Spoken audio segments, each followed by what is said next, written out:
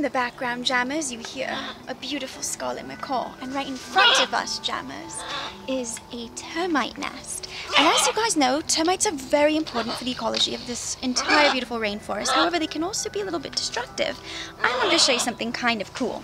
So I'm gonna open up this termite nest, and within just a few hours, this will completely rehash itself and reopen. You could actually eat them if you wanted.